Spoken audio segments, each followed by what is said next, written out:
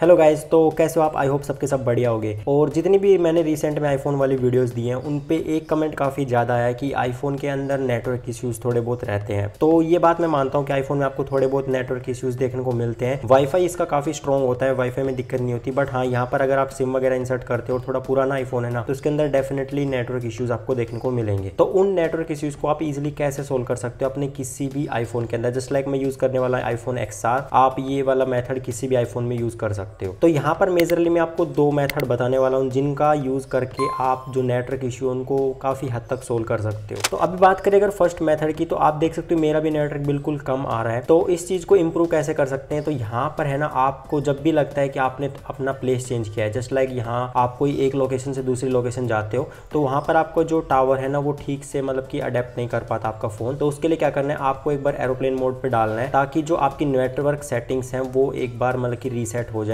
और उसके बाद जैसे आप ऑन करोगे ना तो ये आपका जो नियरेस्ट टावर है, उसको रीच करेगा। तो यहाँ पर आपका जो नेटवर्क है ऑटोमेटिकली चेंज हो जाएगा मतलब कि इंक्रीज हो जाएगा। आप देख सकते हो मेरे वाले में दो सिग्नल आ चुके हैं। तो जो नेटवर्क सेटिंग है, वो रीसेट हो जाती है जब भी आप एरोप्लेन मोड में स्विच करते हो एक बार। अब बात करते हैं सेकंड मेथड की, जो कि काफ़ी ज़्यादा बेनिफिशियल है और वो हंड्रेड वर्किंग है। तो उसके लिए क्या करना है, आपको सेटिंग्स में जाना है और सेटिंग्स में जाने के बाद यहाँ पर आपको जर्नल में जाना है। और जर्नल में जाने के बाद यहाँ पर है ना, आपको एक नीचे ऑप्शन मिलता है ट्रांसफ़र और रीसेट आईफोन का। तो यहाँ पर आपको इसके ऊपर क्लिक करना है। और यहाँ पर आपको दो ऑप्शन मिलेंगे, रीसेट और erase all content and settings तो यहाँ पर आपको रीसेट वाले ऑप्शन पे क्लिक करना है। और यहाँ पर है ना, आपको रीसेट में काफ़ी सारी मतलब की फ़ंक्शन देखने को मिलते हैं। Just like reset all settings reset network setting keyboard home screen location तो यहाँ पर आपको रीसेट क्या करना है? नेटवर्क सेटिंग को रीसेट करना है। नेटवर्क सेटिंग को रीसेट करोगे तो आपका जो डिवाइस है, वो एक बार मतलब की कंप्लीटली रिबूट होके फिर वापस आएगा। तो मैं यहाँ पर नेटवर्क सेटिंग पे क्लिक करता हूँ। यहाँ पर मेरा पासवर्ड है, उसको मेरे को एंटर करना पड़ेगा। तो जैसे मैंने यहाँ पर पासवर्ड डाल दिया, उसके बाद मेरा रीसेट नेटवर्क सेटिंग ऑप्शन आ गया, मैं इसके ऊपर क्लिक करता हूँ। और मेरा जो आईफोन है, वो कम्प्लीटली नेटवर्क सेटिंग को रीसेट करने लग गया यहाँ पर आप देख सकते हो। तो ये एक बार है ना कम्प्लीटली मतलब इस चीज़ प्रोसेस को करेगा और एक बार ये मतलब कि रीबूट हो जाएगा आपका डिवाइस तो एक बार इसको रीबूट होने देते हैं। तो यहाँ पर जो हमारा नेटवर्क सेटिंग है, वो कम्प्लीटली रीसेट हो चुकी है। पासवर्ड वगैरह इनपुट कर दिया है मैंने।